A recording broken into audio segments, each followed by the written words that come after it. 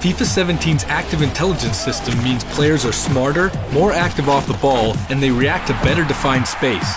We work with Marco Reus, an expert at creating space, to understand how he helps his teammates to link up with him. Ja, natürlich sind es nach der Zeit sind's Automatismen, da weiß man die Bewegungen auch einzuschätzen und ähm, das passi passiert eigentlich alles äh, instinktiv dann.